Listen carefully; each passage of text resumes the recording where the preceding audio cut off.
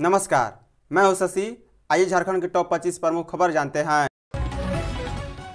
महिला पर्यवेक्षिका के 444 पदों पर 26 सितंबर से आवेदन शुरू। राज्य सरकार के महिला एवं बाल विकास विभाग में महिला पर्यवेक्षिका के 444 पदों पर नियुक्ति होगी। इन पदों पर नियुक्ति के लिए समाज शास्त्र या मनोविज्ञान या गृह विज्ञान में स्नातक उत्तीर्ण महिलाएँ योग्य होंगी।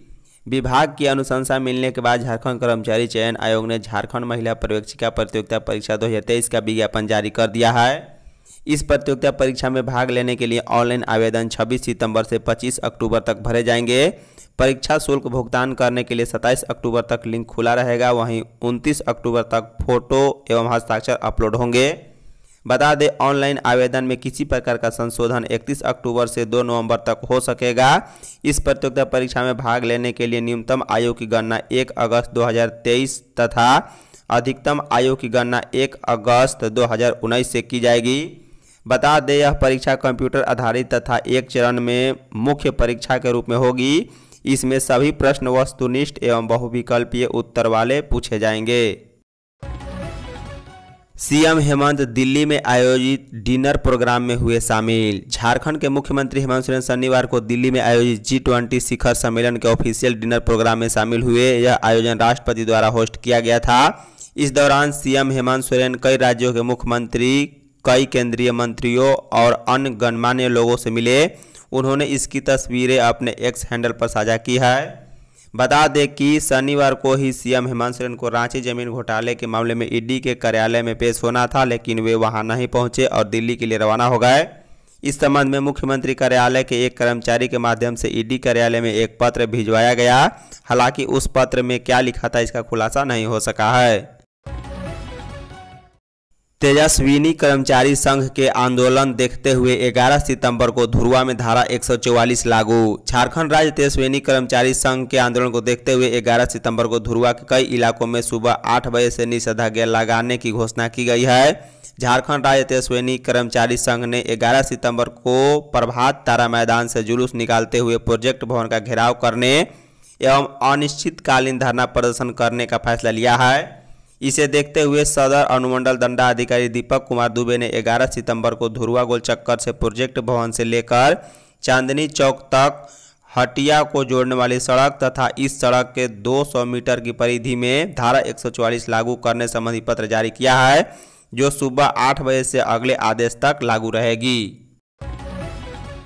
जमशेदपुर में डेंगू से हालात बेकाबू, इमरजेंसी वार्ड में एक बेड पर दो लोगों का इलाज। जमशेदपुर में डेंगू बेकाबू हो गया है। एमजीएम में पिछले पंद्रह दिनों से मरीज़ की संख्या बढ़ने के कारण बेड की कमी हो गई है। हालात ऐसे हो गए हैं कि इमरजेंसी में एक बेड पर दो दो डेंगू मरीजों का इलाज हो रहा है।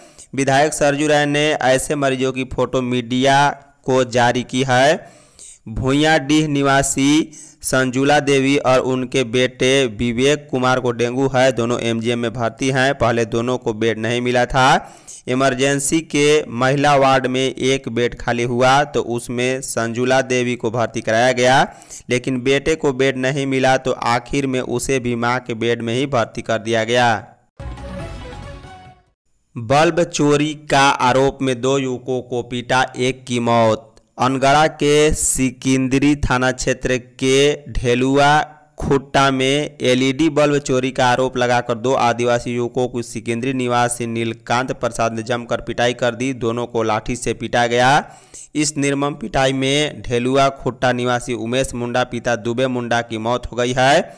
वहीं बबलू मुंडा गंभीर रूप से घायल हो गया। वह अपने घर में जीवन और मृत्यु के बीच संघर्ष कर रहा है। घटना शुक्रवार की सुबह में हुई है। इस मामले में दोनों युवक को पकड़कर नीलकांत प्रसाद ने अपने घर में लगे एलईडी बल्ब चोरी का आरोप लगाया और दोनों को लाठी से पीटने लगा। दोनों युवक लगातार बोलते रहे कि हमने बल्ब की चोरी नहीं की, लेकिन फिर पिटाई जारी रही। झारखंड के 23 जिलों में डेंगू का डंक फैला। राज्य में मच्छरों का आतंक लगातार बढ़ता जा रहा है। डेंगू के मरीजों की संख्या बीते पाँच दिनों में पाँच सौ सत्ताईस से बढ़कर सात पहुँच गई है। पाँच दिन पूर्व तीन सितंबर तक जहाँ महज सोलह जिलों तक डेंगू का प्रसार था। गुरुवार तक यह गोड्डा को छोड़कर राज्य के तेईस जिलों में फैल चुका है। डॉक्टरों के अनुसार मरीज़ में उत्पन्न लक्षणों के आधार पर डेंगू का इलाज किया जाता है, लेकिन मरीज़ की स्थिति गंभीर होने पर शरीर में प्लेटलेट की संख्या घटने लगती है, तब मरीजों को प्लेटलेट चढ़ाना ज़रूरी हो जाता है। अन्यथा मौत हो सकती है। जबकि डेंगू के उपचार में अति महत्वपूर्ण प्लेटलेट की उपलब्धता की बात करें तो राज्य के इक्कीस जिलों में यह नदारत है। मरीजों को प्लेटलेट की उपलब्धता सुनिश्चित कराने के लिए राज्य के मात्र तीन ज़िले, रांची, पूर्वी सिंहभूम और धनबाद के ब्लड बैंक में ब्लड कंपोनेंट सेरेप्शन की सुविधा है। गुमला में डीलरों के घर पहुँच हस्ताक्षर करा रहा अनाज घोटाला का माफिया। गुमला में अब अनाज घोटाले के मामले को दबाने व सेटिंग गेटिंग करने का खेल चल रहा है। डीलरों से एक सादे कागज़ पर हस्ताक्षर कराया जा रहा है कि अगस्त माह के अनाज की कटौती नहीं की गई है। हालाँकि अभी तक मात्र पाँच राशन डीलरों ने हस्ताक्षर किया है, जबकि गुमला शहर व ग्रामीण क्षेत्र में सौ से अधिक डीलर हैं। एक डीलर ने बताया है कि अनाज घोटाला करने वाले माफिया हर डीलर के घर पहुँच, उनसे सादे कागज़ पर हस्ताक्षर कराने के लिए दबाव बना रहा है। साथ ही हस्ताक्षर नहीं करने पर झूठे आरोप में लाइसेंस रद्द कराने की धमकी दी जा रही है। ऐसे घोटाले में शामिल माफिया के नज़दीक रहने वाले पाँच डीलरों ने सादे कागज़ पर हस्ताक्षर किया है, जबकि कई डीलरों ने हस्ताक्षर करने से साफ़ इनकार कर दिया है। स्कूलों में सफ़ाई के दौरान गुरुजी नहीं फरमा सकेंगे आराम। अब सरकारी स्कूलों में गुरुजी को न केवल बच्चों को सफ़ाई करने की नसीहत देनी होगी, बल्कि खुद भी आगे बढ़कर इसकी नज़ीर पेश करनी होगी। अब तक स्कूल की साफ़ सफ़ाई के दौरान आपस में गप में मशगूल रहने वाले शिक्षकों को कक्षा से निकलकर इसकी निगरानी करनी होगी। यह सब प्रदेश सरकार के उस आदेश के कारण होगा, जिसमें स्कूलों में कक्षा के साथ पूरे परिसर की सफ़ाई में शिक्षकों की भागीदारी तय की गई है। झारखंड शैक्षणिक अनुसंधान एवं प्रशिक्षण परिषद ने सभी जिला शिक्षा अधीक्षक को इस बारे में आदेश जारी किया है। इतना ही नहीं, शिक्षा विभाग के अधिकारी सप्ताह में एक दिन पूरी व्यवस्था का जायजा लेंगे, ताकि इसे और धारदार बनाया जा सके।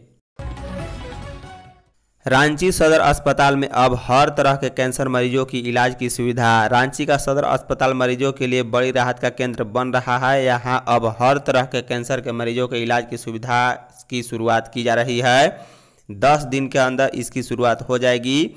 मेडिकल ऑन्कोलॉजी और सर्जिकल आर्कोलॉजी दोनों तरह की सुविधाएँ मिलेंगी। मरीजों को अधिकतर सुविधाएँ निःशुल्क दी जाएगी। इसके लिए सदर अस्पताल प्रबंधन ने पूरी तैयारी कर ली है। डॉक्टरों का चयन और दवाओं के लिए मेडिकल मैनेजमेंट भी अंतिम चरण में है। अस्पताल प्रबंधन के अनुसार दवाओं के लिए टेंडर किया जा चुका है। वहीं जिन दवाओं की दर मौजूद नहीं है, उसकी रिम्स में मौजूद रेट के अनुसार खरीदारी की जाएगी। रांची में रोज बिना हेलमेट ग्यारह लोग चलाते हैं वाहन। राजधानी में प्रतिदिन ग्यारह लोग बिना हेलमेट पहने वाहन चलाते हैं। पिछले 122 दिनों में राजधानी की विभिन्न जगहों पर लगे कैमरे ने एक लाख चौदह हज़ार छियालीस लोगों का चालान काटा है। यह आंकड़ा बिना हेलमेट के बाइक चलाने वाले व पीछे बैठने वालों का है। आठ मई से लेकर सात सितंबर तक, यानी 122 दिनों तक का यह आंकड़ा ट्रैफ़िक पुलिस की ओर से जारी किया गया। इस प्रकार देखा जाए तो बिना हेलमेट के चलने वाले का 11 करोड़ 40 लाख छियालीस हज़ार रुपये का चालान कटा है। मालूम हो कि बिना हेलमेट पहनकर वाहन चलाने पर प्रति व्यक्ति एक हज़ार रुपये का चालान काटा जाता है। झारखंड में सजा से मुक्त बंदियों को मिलेगा सरकारी योजनाओं का लाभ। सरकार झारखंड के विभिन्न जेलों से सजा से मुक्त किए गए कैदियों की मदद के लिए आगे आएगी। सरकार ने अब ऐसे कैदियों को विभिन्न लाभप्रद योजनाओं से जोड़ने के लिए मज़बूत पहल की है। इस योजना का लाभ राज्य सजा पुनरीक्षण परिषद द्वारा साल 2019 से अब तक जेलों से रिहा किए गए बंदियों को मिलेगा, जिनमें से अधिकतर सामाजिक रूप से वंचित या कम शिक्षित और निम्न आय वर्ग से हैं, ऐसे बंदियों की तादाद 430 है। बता दें, इनमें बिरसा मुंडा केंद्रीय कारा होटवार से हाल ही में रिहा तिरपन बंदी भी शामिल हैं। इन सभी का पूरा डेटाबेस तैयार किया जाएगा। योजना में कई पहलुओं को शामिल किया गया है। चैम्बर ऑफ़ कॉमर्स चुनाव से पहले उठा विवाद। Federation of Jharkhand Chamber of Commerce and Industries का वार्षिक चुनाव 24 सितंबर को रांची के बिरसा मुंडा फुटबॉल स्टेडियम में होगा। इस चुनाव में कोयलांचल, कोल्हान और संथाल परगना प्रमंडल के साथ अन्य तीन प्रमंडल, साउथ छोटा नागपुर, नॉर्थ छोटा नागपुर और पलामू प्रमंडल का एक साथ मतदान कराया जाएगा। बता दें, इस चुनाव को लेकर विवाद उठना शुरू हो गया है। चैम्बर के पूर्व उपाध्यक्ष दीनदयाल बर्नवाल ने आरोप लगाया है। उन्होंने कहा है कि जिस तरह से वर्तमान अध्यक्ष सहित पूरे टीम के द्वारा लगातार दूसरी बार चुनाव में उतरने की घोषणा की है, वह कहीं न कहीं चैम्बर ऑफ़ कॉमर्स के प्रावधान के विरुद्ध है। लोकसभा चुनाव को लेकर कांग्रेस रेस। कांग्रेस की 2024 लोकसभा चुनाव को लेकर तैयारी तेज हो गई है। झारखंड कांग्रेस इन दिनों पंचायत स्तर पर संगठन को मज़बूत करने के लिए लगातार प्रयास कर रही है। प्रदेश कार्यकारी अध्यक्ष के जिम्मे छह छह ज़िले में संगठन विस्तार की ज़िम्मेदारी सौंपी गई है, जिन्हें जमीनी स्तर से पार्टी को मज़बूत करने की ज़िम्मेदारी सौंपी गई। बता दें, संगठन सशक्तिकरण के लिए कांग्रेस कार्यकारी अध्यक्ष बंधु तिर्की के प्रभार वाले छह ज़िले खुट्टी लोहरदगा, दुमका, गुमला, पश्चिमी सिंहभूम और पूर्वी सिंहभूम हैं।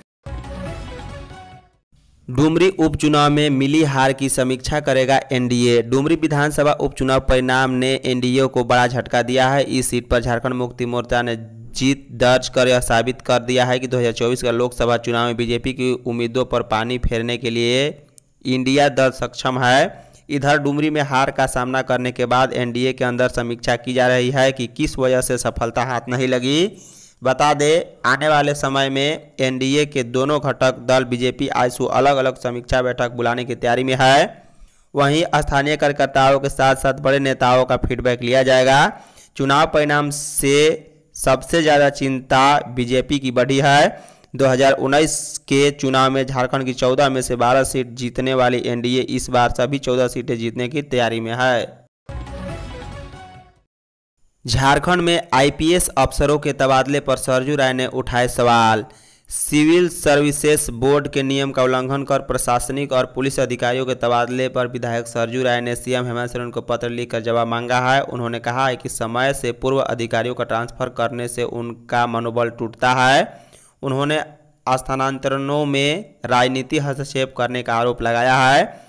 बता दें, निर्दलीय विधायक सरजू राय ने 8 सितंबर को हुए आईपीएस अफसरों के ट्रांसफ़र पोस्टिंग को सिविल सर्विसेज़ बोर्ड के नियम का उल्लंघन बताया। उन्होंने मुख्यमंत्री हेमंत सोरेन को पत्र लिखकर पूछा है कि क्या पुलिस पदाधिकारियों के समय पूर्व स्थानांतरण में विधिक प्रक्रिया का पालन किया गया? यदि किया गया है तो क्या आप इससे मुझे अवगत कराने या इसे सार्वजनिक करने की कृपा करेंगे? बीजेपी ने चलाया मेरी माटी, मेरा देश अभियान। मेरी माटी, मेरा देश कार्यक्रम के तहत झारखंड बीजेपी की ओर से विशेष अभियान की शुरुआत हुई है। एक से सत्रह सितंबर तक आयोजित इस कार्यक्रम के तहत दो दिन, नौ और दस सितंबर को विशेष अभियान चलाया जा रहा है, जिसके तहत गाँव एवं शहरों में घर घर से मिट्टी संग्रह किया जा रहा है। बता दें, दिल्ली में बनने वाले अमृत वन के लिए भाजपा कार्यकर्ताओं के द्वारा किए जा रहे मिट्टी संग्रह अभियान के तहत जिस घर में मिट्टी उपलब्ध नहीं है, वहाँ से एक मुट्ठी चावल लिए जाएँगे या पाँच तुलसी का पत्ता। आज़ादी के अमृत महोत्सव के उपलक्ष्य में पीएम मोदी के आह्वान पर बीजेपी के द्वारा यह अभियान चलाया जा रहा है।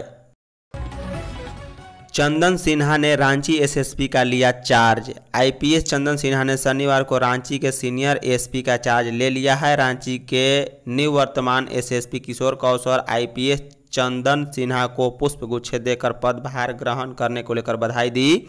बता दें कि किशोर कौशल को जमशेदपुर का एसएसपी बनाया गया है। रांची के सीनियर एसपी का पदभार संभालने के बाद चंदन सिन्हा ने कहा है कि राजधानी रांची में काम करना अपने आप में एक बड़ी चुनौती है। जिसे निभाने के लिए वो हर संभव प्रयास करेंगे। सीएम हेमंत ने ईडी को भेजा पत्र, समय की मांग। शनिवार 9 सितंबर को मुख्यमंत्री हेमंत सोरेन को ईडी के समक्ष उपस्थित होना था और ज़मीन घोटाले मामले में अपना पक्ष रखना था, लेकिन सीएम द्वारा ईडी को पत्र भेजकर जवाब देने के लिए समय की मांग की गई है। फ़िलहाल इसकी आधिकारिक पुष्टि नहीं की गई। ईडी ने मुख्यमंत्री हेमंत सोरेन को 9 सितंबर को दफ्तर में उपस्थिति होकर ज़मीन घोटाले मामले में पक्ष रखने के लिए बुलाया था, जिस पर मुख्यमंत्री आवास से एक मैसेंजर भेजकर ईडी को पत्र के माध्यम से सूचित किया गया और जवाब देने के लिए समय की मांग की गई। मुख्यमंत्री कार्यालय से दोपहर 12 बजे के बाद एक मैसेंजर द्वारा ईडी कार्यालय को यह सूचना दी गई कि ईडी ने 9 सितंबर को मुख्यमंत्री हेमंत सोरेन को पूछताछ के लिए बुलाया था, जिसमें उन्हें अभी समय की ज़रूरत है।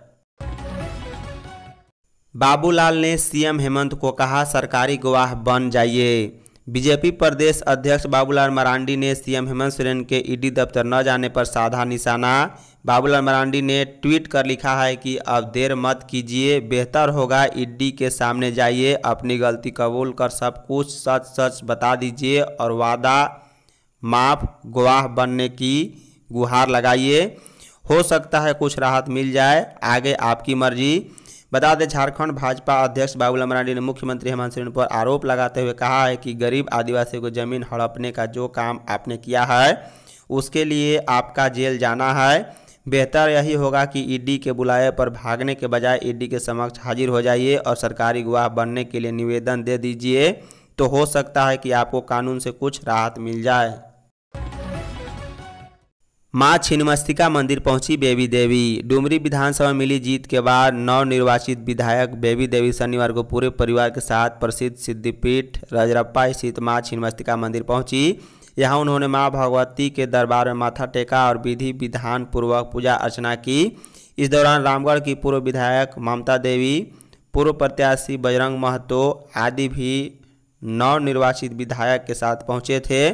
इस दौरान नवनिर्वाचित विधायक बेबी देवी ने पूजा अर्चना कर क्षेत्र, प्रदेश और देश में अमन चयन और शांति की कामना की है।